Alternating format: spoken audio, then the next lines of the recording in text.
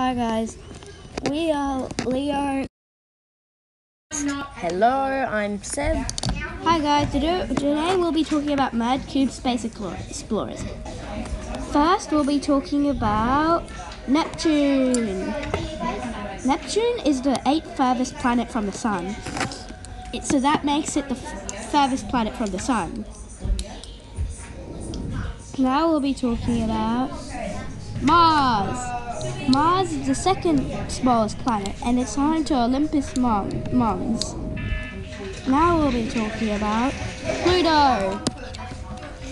Pluto was considered a true planet before 76 years before it was downgraded to a dwarf planet status in 2007. Now we'll be talking about Saturn. Saturn. Saturn is the second largest planet in our solar system. It is a gas giant with seven groups of rings. Now we'll be talking about Mercury. Mercury is the smallest planet in the solar system, and it is too clo- close to the, su- to the sun. Earth, our home planet. Earth is the fifth largest planet in our sol- solar system.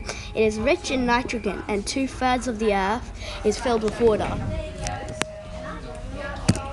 Now, Jupiter. Jupiter is thought to be the first planet formed in our solar system. It is the largest gas giant with over seven, 67 moons. Now we'll be doing Uranus. Uranus is a gas giant with 13, 13 rings and 37 moons. Now we'll be doing